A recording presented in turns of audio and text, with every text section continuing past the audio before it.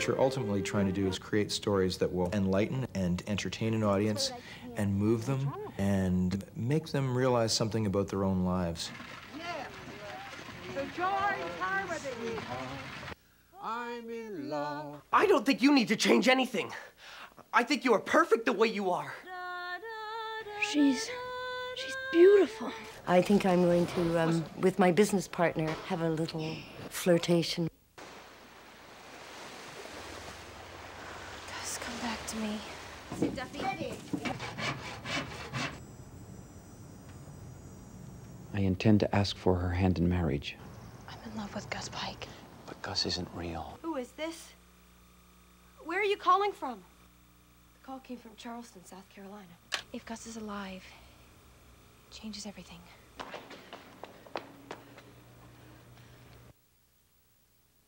Wiley, the workers! They're fine, ma'am. Everyone's out. It's fine. Over here! Let's get that horse out of here! I want to go to England.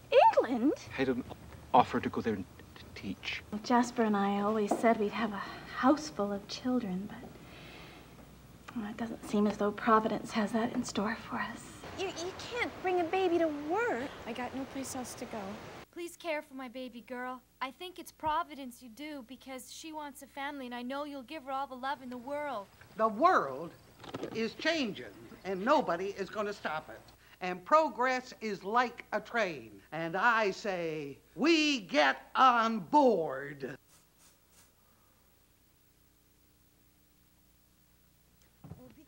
Only on film have I played one um, sort of outlandish woman, and that would be in Bullets Over Broadway.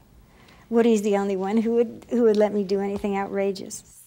And this character, I don't know, she does remind me of a George Bernard Shaw play. It's it's really a, a wonderful opportunity to be outlandish in a period way. I was scared to do television because having just worked in features, you know, they go very slowly, and I thought, I'll never be able to do this. And now I feel quite comfortable. Young man, I have no intention of checking out at this moment. I'm afraid, Miss Hepworth, you have no choice.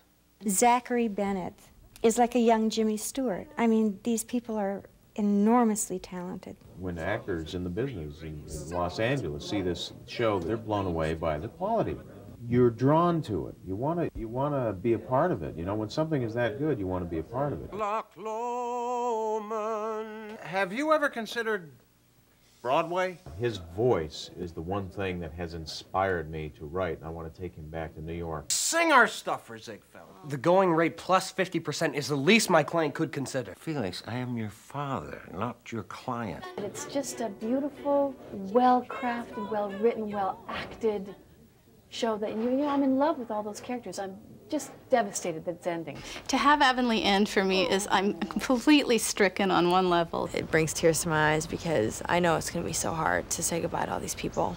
Everybody around the world has said, why is this the last season of Avonlea? Why wouldn't you just let the show continue on? All good things come to an end, and I feel that it's reached its zenith, and now it's time for the show to just very nicely, with lots of hoopla, finish, and hopefully maintain very fond memories in people's minds as to what it was. We continue to produce new series, and I'm working on another new show right at the moment, so audiences may embrace that as a new concept. From the producers of Road to Avonlea comes this heartwarming new series, Wind at My Back. Sweet Pop, I'll work long oh, hours. like they took my kids. If I don't get a job, I can't get them back. We can improve things, I'm Honey, telling you. honey. We can. Let me go, Jack. Let me. Don't Nobody stiffs Joe H. Callahan. You're gonna pay me last month's rent if you value your life, deadbeat. The goal of this series is to try and entertain an audience in an unsuspecting way, and a style of entertainment that's quite real, that has a little bit of edge to it. Son of a beehive corn syrup label. I refuse to make a spectacle of myself in the street. No one else's mom screams at the top of her lungs in the street. They are stories that make you laugh, make you cry, and hopefully enlighten you at the end of the day. You gonna tell the cops?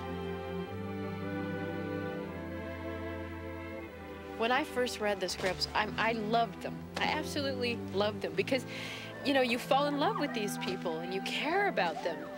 You're leaving us? I have to go back to Northbridge to get a job. I hate you. Hop. Don't. Hop. you know, she's fiercely independent, but at the same time, she's, you know, she's devoted to her kids and family. Killed my son, you heartless bitch. It may take place in the 30s, but I think there are a lot of similarities these days uh, to what was happening then. I think people are going to really relate to what's happening. They're going to see themselves uh, in these characters. Come here now! Wind at My Back is the dramatic story of a family torn apart during the Great Depression. A widowed mother and her three children tried desperately to find a way to maintain their independence and pride through adversity and hard times. Fire! Fire! You had no right to take her away. You hear me? Enough of that. Your brother's hurt. Leave her alone. Leave him alone. I won't tell police. Ah!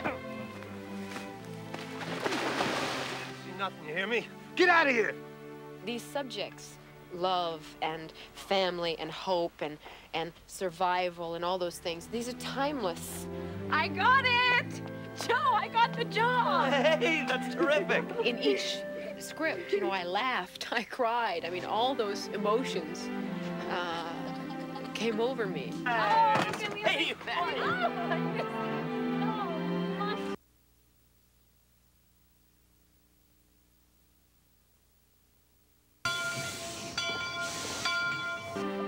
The lives of the Baileys provide the backdrop for stories of family bonds and the poignancy of love. Sometimes funny and awkward, sometimes full of pain, in a world where hope is just around the corner.